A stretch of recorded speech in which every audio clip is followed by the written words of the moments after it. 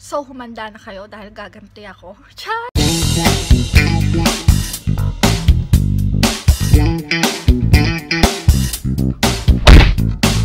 Adventures and welcome back to my channel!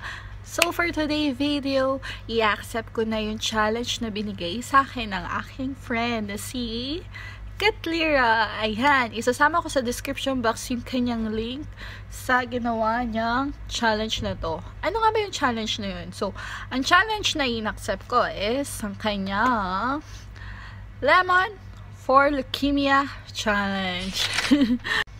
So, itong Lemon for Leukemia is nag-start siya sa dalawang mag-best friend na si, ang pangalan niya ay si Chris Betancourt at si Dylan Hill. So, I think si Dylan Hill is na-diagnose na-diagnose na-diagnose na-diagnose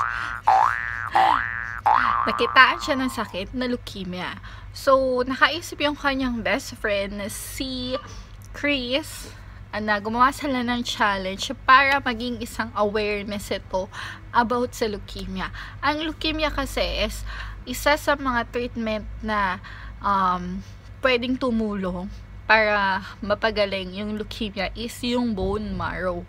Ang bone marrow sobrang iilan lang yung mga nagdo-donate at sobrang liit ng chance din na makahanap ka ng ka-pair mo So, may pairing something na nangyayari before ka mag-donate ng bone marrow. So, anyway, sa challenge na to, please watch the full video until then para naman makita nyo kung sino ba yung mga itatag ko na susunod na gagawa nito, ha, actually.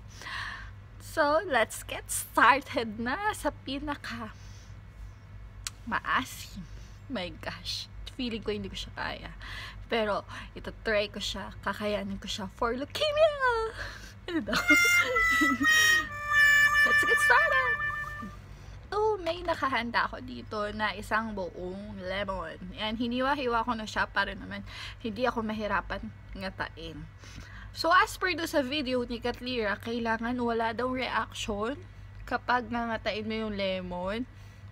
Pero feeling ko hindi ko siya kaya. Mahilig kasi ako sa matatamis at sobrang hina ako sa maasim. So, anyway, mag-start na ako kung paano to. Let's get started! Ito, apat siya. May buto.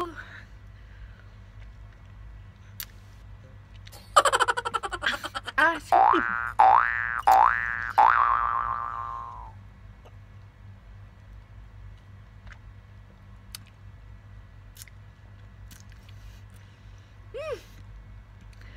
feeling ko matatanggal yung sipon ubo ko dito lahat ng nasakit fairness ha ano to vitamin C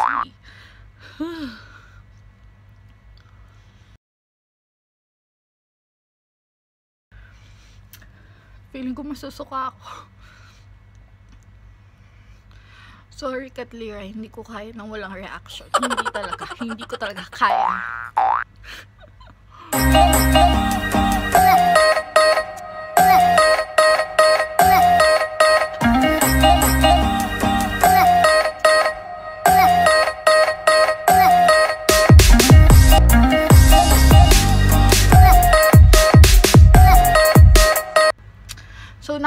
na ako. Two more.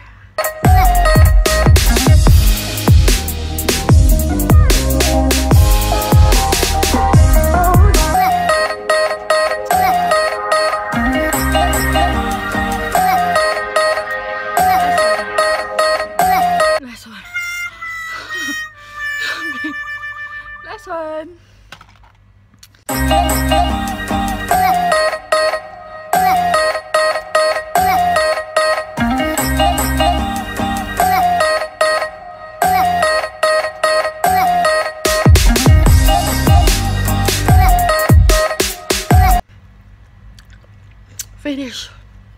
Oh my God. Oh my God. Ayan, natapos ko siya. Oh my gosh, grabe. Naubos ko siya actually. Ah. So anyway, ayan. Kahit sobrang nangangasim yung mukha ko kanina. In fairness, naubos ko naman yung apat.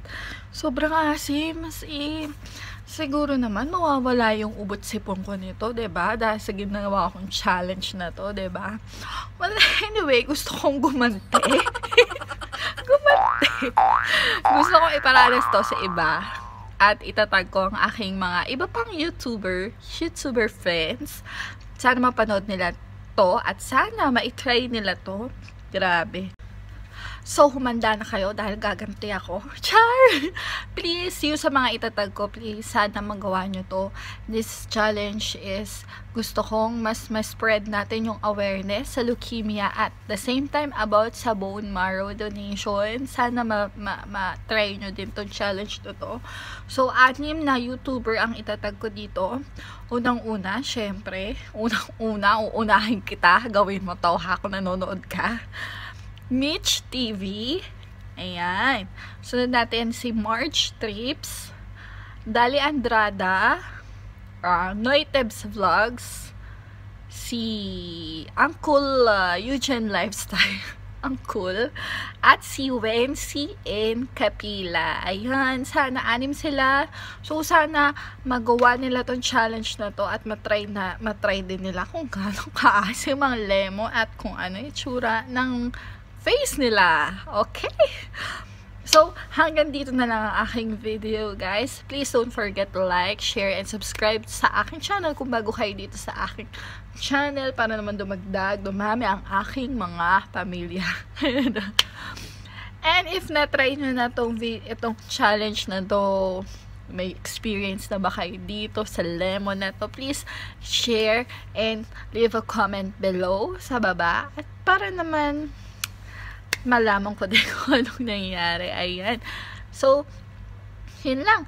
Sa mga hindi ko natag, abangan nyo dahil madami pang challenge na darating dito sa aking channel. Huwag kayong mag-alala dahil itatag ko kayo. So, yun. See you again on my next video. Bye!